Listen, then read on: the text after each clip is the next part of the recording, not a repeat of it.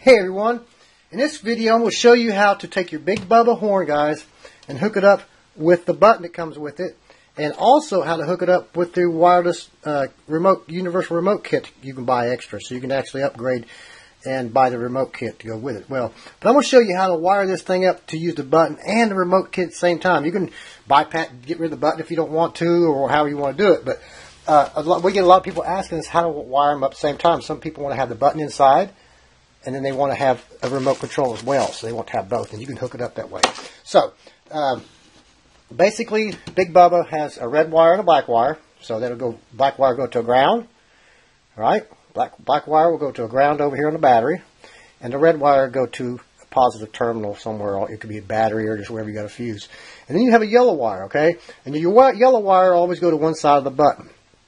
One side of the button that comes with it, and then you run a, simply run a hot wire from the battery or wherever you're getting your power to the other side of your button, okay? So, um, and that's how you, you hook your, uh, you see two yellow wires coming in here because we actually have the remote kit hooked up to it as well. And uh, we temporarily just have the wires tied up here. Usually you just use a little terminal there. But um, what you do when you have your kit, and the kit comes with the instructions which wires goes where on, okay? But what you do, uh, you if you want to use both of them at the same time, you'll take that yellow wire that goes from the horn, and you'll split and you'll have another yellow, another yellow wire will have to go to this kit. Of course, we have two powers goes to this kit. There's one red here. There's another power here. And there's a ground. And the instructions, it shows you exactly where to wire these up at.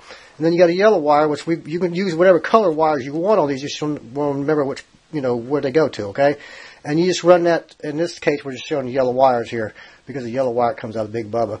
Uh, but you can just run the yellow wire uh, to to the yellow wire from here into the button, and the button, and then go to the horn itself. Now, if you want to bypass this here, you simply run your yellow wire into there from Big Bubba and just bypass the button. But like I said, in this video, we want to show people how to hook the button up and the remote kit at the same time, so you can use both. Like I said, uh, the button will have to have a hot wire coming from the battery, goes all the way up to the battery, and then your yellow wire coming from Big Bubba will go into the switch here, into the button, okay?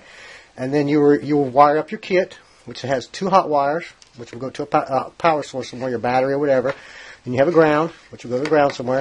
And then your yellow wire, see? So we can use both of them. We can use the wireless or we can use the button. So that's how you wire that up, guys. It's pretty pretty simple process.